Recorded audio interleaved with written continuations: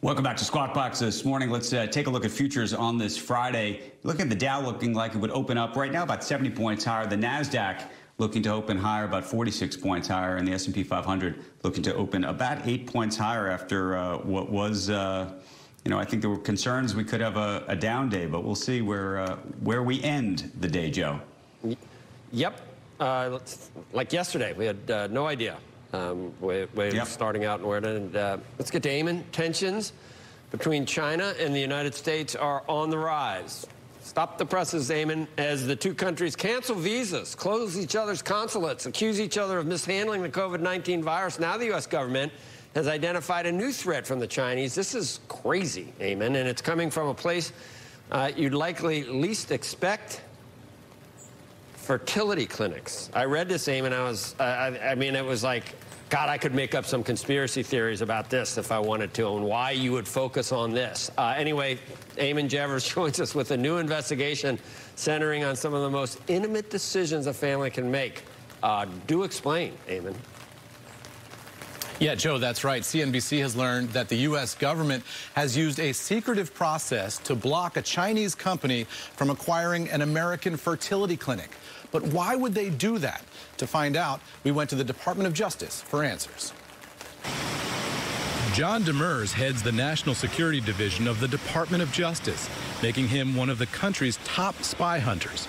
Your genetic material, your biological material is among the most intimate information about you, who you are, what your vulnerabilities may be, what your illnesses have been in the past, what your family medical history is, et cetera. And again, that can be used from a counterintelligence perspective to either coerce you or convince you to help uh, the Chinese. Our investigation has found four of the roughly dozen fertility clinics in the San Diego area have investors with links to China. Fertility treatments are hugely popular in China after the repeal of the one child policy there. And Chinese customers have flocked to American clinics, which are seen as among the best in the world. Take the case of HRC Fertility in California. One of its offices is in Oceanside, just a 14 minute drive from the front gate of Camp Pendleton. There's no way to tell from its offices or website, but the fertility clinic's ownership history is global and extremely convoluted. In 2017, management rights to HRC Fertility were purchased by an investment entity in the British Virgin Islands that was in turn owned by a Chinese coal company. Later, a new entity took the company public on the Hong Kong Stock Exchange. So why would a Chinese coal company want to buy a U.S. fertility clinic in the first place? HRC tells us the coal mining subsidiary was merely a convenient investment vehicle, and the company says it's engaged in significant restructuring to allay China-related concerns, including keeping all U.S. patient data on servers inside the United States. And as for the clinic being located near a U.S. military base, the company calls that a meaningless coincidence but it's the kind of transaction that can be concerning to the U.S. government. So what if you saw a subsidiary of a Chinese mining company buying an American fertility chain? Would that be a red flag to you? Well, without obviously commenting on any individual transaction, that's the kind of dissonance that would be very interesting to us. In a statement, HRC told us in part the company complies with all relevant federal and state laws and regulations regarding patient data security. We take patient information and data security seriously and do not share any patient information with our parent company. In fact, we go beyond the requirements and use third party experts to confirm the security of our patient data on a regular basis. It's a big global economy. Why should we say there's anything wrong with the Chinese buying American companies? Well, what we're worried about is the use that they make of the data. If all they were doing was then running that company as a going concern and earning the profits from it, that would be fine. What could they do with it? Demers says there are some terrifying possibilities. The worst case would be, and I'm not saying that we've seen this, but the worst case would be the development of some kind of biological weapon. Really? If you had all of the data of a population, you might be able to see what that population is most vulnerable to. Mira Ricardel, the former deputy national security advisor, told CNBC CFIUS, the highly secretive Committee on Foreign Investment in the United States, located in the Treasury Department, has already taken action.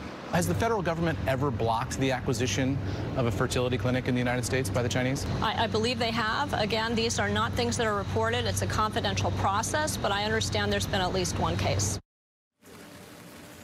And guys, CFIUS does have the authority under U.S. law to actually force American companies to be divested of their ownership if they think that there's a national security problem there. There's no indication, though, that that's happening right now with any of these Chinese-linked fertility clinics inside the United States. Back over to you. Okay. Um, behind, after all what you just said, what do you think that the U.S. government is really worried about here? Look, Joe, I think they've got two concerns when you talk to intelligence and law enforcement officials. One is sort of the individual level, right? If you have biologically identifiable data inside a fertility clinic, uh, you could use that to, as leverage to get somebody to cooperate with the Chinese intelligence, either as blackmail or exploiting some kind of weakness. So on the individual level, they're worried about recruiting American spies, potentially U.S. military members who go on to careers in the CIA or who go, go on to be posted overseas. So that's one. Uh, the other one is, is sort of a more uh, business-related concern, which is that they're concerned that the, this is a, of a part of a broader Chinese effort to acquire U.S. biological data in huge numbers, massive data sets, and they can use those data sets to leapfrog American pharmaceutical companies and sort of do to the U.S. pharmaceutical industry uh, what the Chinese have been able to do with Huawei and others uh, to the U.S. telecommunications industry. That's a big concern in terms of national security and American competitiveness. So they're worried about both things, but some of this stuff does sound a little sci-fi, Joe. Yeah, it does. I haven't done it yet. Have you? I haven't done any 23, any of that stuff. Uh, uh, I'm, a, I'm, I'm star matter. I'm a child of the universe. I'm not sure I want to know, Eamon. You know?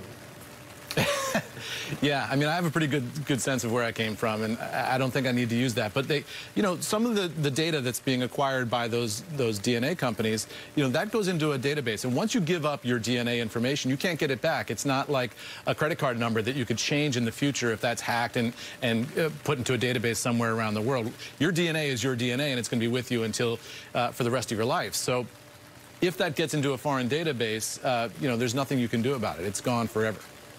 It's pretty. It is pretty amazing. I was, I was, in fact, adopted. Now my, my kids have done this, and it's pretty.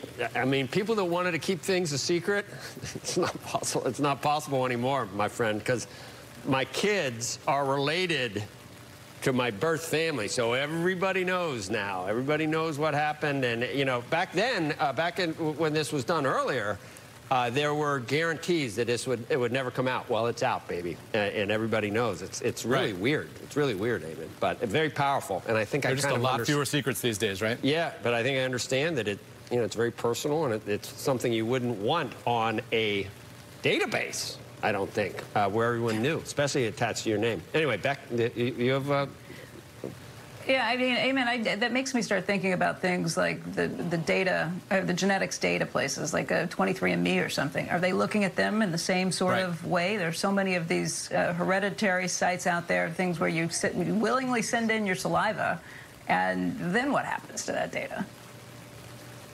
Yeah, look, I mean, that's a real open question, and, and, the U.S. government does have concerns about a broad range of Chinese efforts to partner with American universities, to acquire uh, data collection companies, uh, to get that medical research. There's even been some hacking uh, by the Chinese of American medical companies to get uh, individual American medical data. All of that, uh, the U.S. government looks at and says, you know, the, the Chinese are gathering an enormous amount of medical technology and data. Why is that? What are they going to do with it? One of the concerns is this counterintelligence concern that you could have, say, a young Marine at Camp Pendleton who later goes on to a career in the CIA, uh, you know, years from now, his DNA will be the same, and if he's posted in China, they can identify him that way. They can tell that he's a former Marine and maybe check that his, his story doesn't match. But, but broadly, there's this other concern about pharmaceutical companies. You know, the United States has an enormous lead in pharmaceuticals around the world.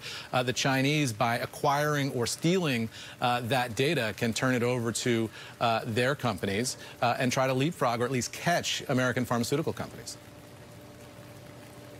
Yeah. All right, uh, Eamon. Thank you. interesting. Good job. Good work. Haven't seemed, uh, had no idea. Anyway, that, that uh, thanks for bringing that to us. We'll see you. All right, Beck, it's raining down there. With, I think it's raining here. It was earlier. Anyway, uh, Becky. I can't see outside right now. Anyway, when we come back, a wide-ranging interview with LinkedIn co-founder Reid Hoffman. Everything from tech's record run on Wall Street to election season volatility to whether a government social media crackdown is finally at hand. Right now, as we head to a break, check out shares of Boeing. Europe's top aviation regulator says that the company's 737 MAX jet is safe enough to return to service. The safety official said in an interview that his agency expects to issue a draft airworthiness directive next month. Check it out. Boeing shares up by better than 4.5%, all the way back up to 171.75. Stay tuned. You're watching Squawk Box on CNBC.